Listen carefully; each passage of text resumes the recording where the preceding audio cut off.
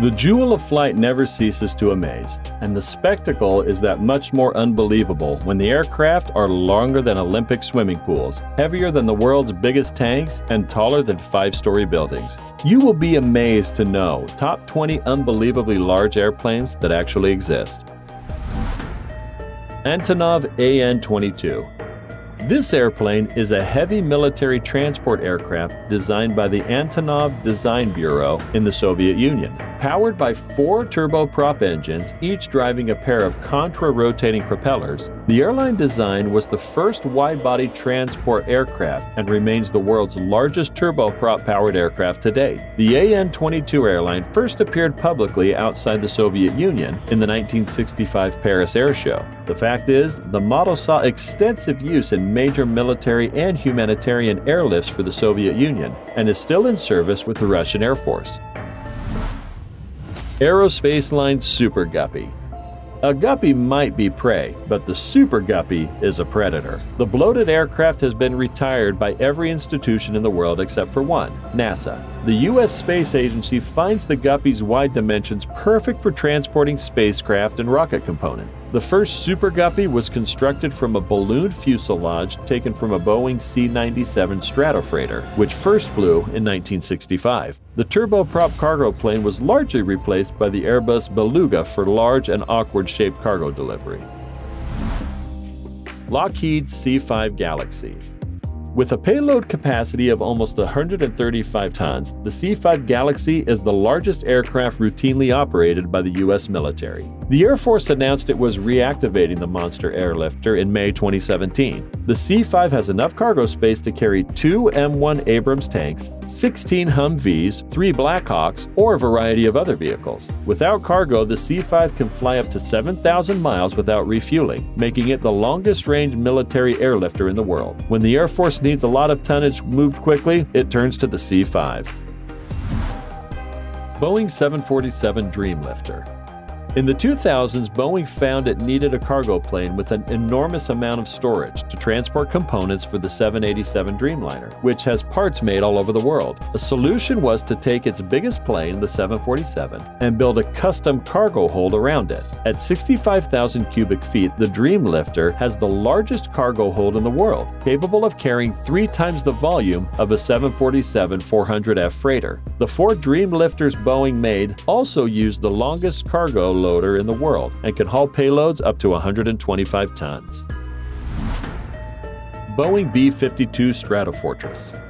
The B 52 entered service in 1955, and the first B 52H, the current model, debuted in 1961. The B 52 bomber is the grandfather of the Air Force, aging but still capable of delivering a serious punch. The Buff can carry 70,000 pounds of weapons, from precision guided conventional bombs to nuclear warheads. While the B 2 stealth bomber and the B 1 supersonic bomber could be retired when the B 21 was introduced, the Air Force wants to outfit the reliable B 52 with new engines to improve efficiency and range.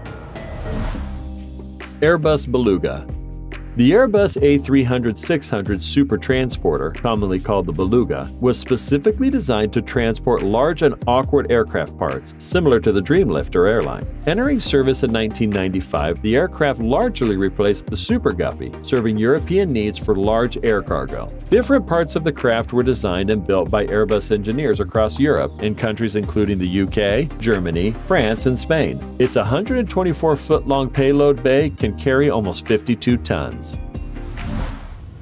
Boeing 747. The Dreamlifter is already on the list, but it only represents a small part of the accomplishments of the Queen of the Skies. Boeing has built over 1,500 Boeing 747s, and the plane has served as the largest passenger and cargo aircraft in the world. Plus, Iron Maiden even has one called Ed Force One. The aircraft is being phased out of airlines in favor of a single aisle design that can now fly with enough range to cross the oceans. But as the only U.S. mass manufactured four engine jumbo jet, the Boeing 747 has some years in it yet. Tupolev Tu 160 This airplane is a variable geometry wing aircraft. The aircraft employs a fly-by-wire control system with a blended wing profile and full span slats that are used on the leading edges, with double slotted flaps on the trailing edges and cruciform tail. The Tu-160 has a crew of four pilots, co-pilot, bombardier, and defense system operator in K-36LM ejection seat. On the 10th of June 2010, two Tu-160s carried out a record-breaking 23-hour patrol with a planned flight range of 18,000 kilometers. The bombers flew along the Russian borders and over neutral waters in the Arctic and Pacific Oceans. Boeing 777-200 the Boeing 777-200 is a passenger plane made in the United States. It can accommodate 440 passengers in a single-class system and 400 in a two-class configuration. It has a travel range of 14,260 kilometers or 7,700 nautical miles. This Boeing retirements began before the current crisis and continues through 2020. British Airways, Delta Airlines, and Singapore are among the airlines who are saying goodbye to the aircraft. Of course, another abnormal large plane in the world. I wish to travel once in my life.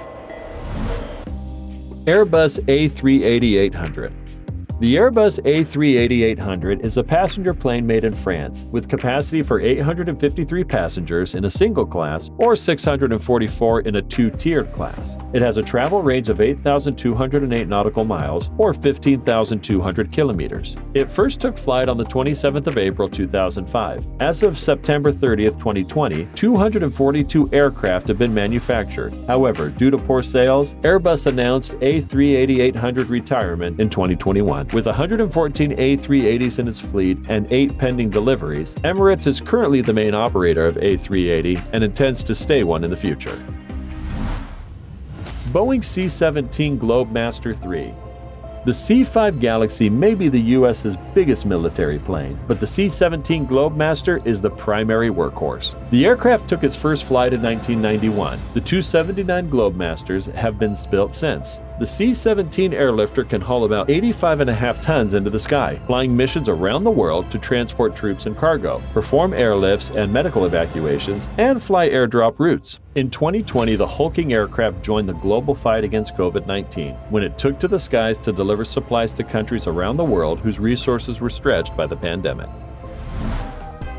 McDonnell Douglas KC-10 Extender the McDonnell Douglas KC-10 Extender is the largest fuel capacity tanker aircraft in the world. With a 164-foot wingspan, the aircraft can haul a massive amount of fuel. We're talking 52,250 gallons. The Air Force is in the process of acquiring a new tanker, the Boeing KC-46 Pegasus, which will be more efficient and have more advanced avionics than the KC-10. But the Tri-Jet Extender will still have the Pegasus beat on fuel capacity by about 70 tons. It can alternately be flown with a crew of 75 and 73 tons of cargo, or 85 tons of cargo in an all-cargo configuration. Stratolaunch Paul Allen's Stratolaunch certainly is a monster plane. The composite six-engine, twin-fuselage aircraft has the longest wingspan in the world, 385 feet from tip to tip. If you place Stratolaunch on a football field, the wings would extend through the goalpost an extra 12 and a half feet on both sides. The aircraft is designed to carry rockets up into the stratosphere and drop them. The alternative conventional rockets launch could conserve some of the fuel needed to overcome all of the Earth's gravity from sea level into orbit and launch small rockets at a rapid pace.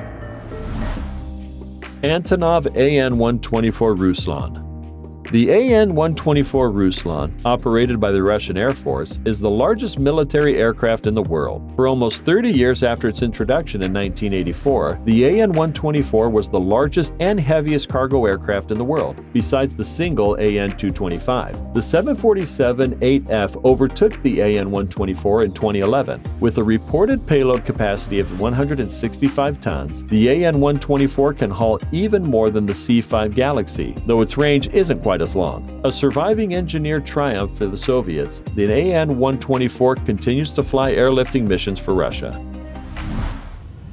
Blohm & Voss BV-238 It was a German flying boat built during a war. It was the heaviest aircraft ever built when it first flew in 1944 and was the largest aircraft produced by any of the Axis powers. The BV 238 was an extremely large flying boat of conventional aerodynamic design, but bearing the usual B&V structural hallmarks of all metal construction and a tubular steel wing main spar, which also acted as an armored main fuel tank. However, it would be the heaviest yet flown at 100 tons like a cargo plane fully loaded.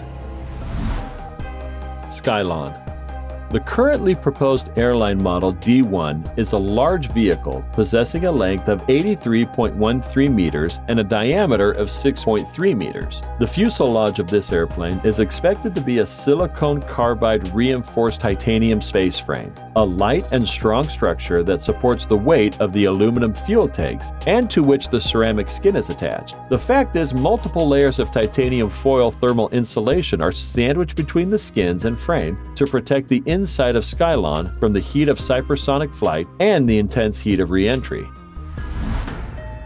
Douglas XB-19 it was the largest bomber aircraft built for the United States Army Air Forces until 1946. It was originally given the designation XBLR-2. The XB-19 project was intended to test flight characteristics and design techniques for giant bombers. Despite advances in technology that made the XB-19 obsolete before it was completed, the Army Air Corps believed the prototype would be useful for testing despite Douglas Aircraft wanting to cancel the expensive project. The plane first flew on the 27th of June 1940 1941, more than three years after the construction contract was awarded.